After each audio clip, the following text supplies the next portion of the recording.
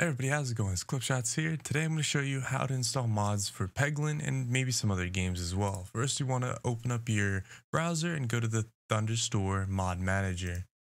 Once you do, you go and meet, be met with this page. You just want to click the overwolf.com link there. Um, this will probably be in the description below as well. So if you guys just want to go straight to this page, it'll be a little bit easier. So you want to click download. Once you've clicked download and installed the downloader, then you should have Thunderstore Mod Manager on your desktop. Go ahead and open that up. And when you do, you'll have this page here. You just want to scroll down till you find your game. In this case, we're doing Peglin. We want to select game. This one says Steam or others. So yes, of course, we want to click Steam and go ahead and select that game. Now you're going to have only the default and I currently have my own profile, but for this case, we're going to go ahead and create a new one.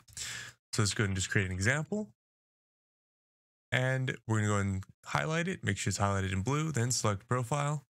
Would be in installed mods, which we don't have any at the moment. So then we just want to go to the online tab. These are all the mods you can install. When you go to install mod, you just want to click the little drop down, click download, and then it will download the mods. Now, in this case, we want to download with dependencies. Anytime we download, we should download with dependencies because if we don't, then the mod won't actually function.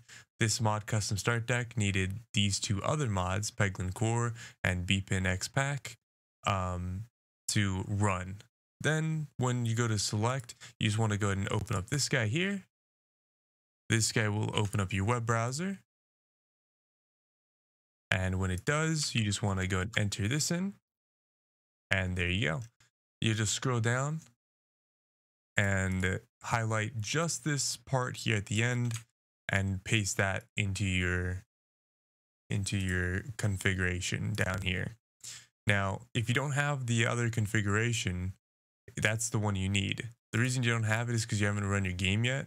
So if I were to go back and show you mine, um, since I've already run the game as a, as a modded setup, now what I have is I have these two setups. You want to make sure it's custom start deck. And when you go to edit config, you'll have relics and you'll have orbs. So then you can just replace whatever is here. There shouldn't be anything in this one. Replace it with what you got and then click save and then start modded. And there you are on your way to a plain modded Peglin. So I hope that helps you guys and hope that was quick, easy, and painless. And yes, this does have ads. So just mute it and be happy and go on your way. Otherwise, it's just about as simple for any other game that's on that their list on the Thunderstore mod. And uh, that's the way I do it.